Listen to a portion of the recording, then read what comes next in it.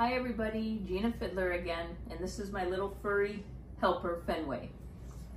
My devotion today is about what dogs can teach us about God. Did you know dogs are mentioned more than a dozen times in the Bible? St. Francis of Assisi talked to the animals, and he even tamed a wolf because he believed they were creatures of God like us. And of course, dog is God spelled backwards. God made dogs for us to have as companions and helpers and for the immeasurable pleasures and happiness they give us. Obviously, there is something very human about dogs. Is there something very godlike about us? With all that God created, would it be unreasonable to think that God also made dogs to teach us about his love?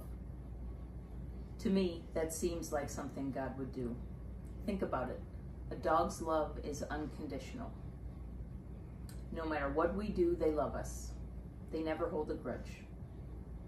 God's love for us is unconditional. Read Exodus.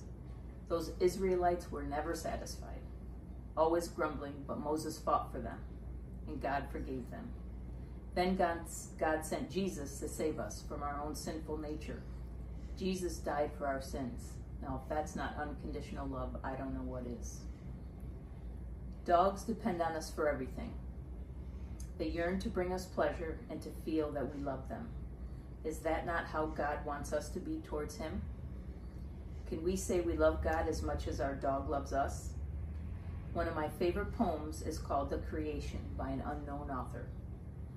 When God made the earth and the sky, the flowers and the trees, he then made all the animals, the fish, the birds, and the beasts.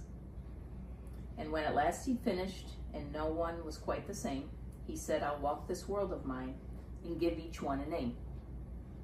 And everywhere he went, a little creature followed him until its strength was spent.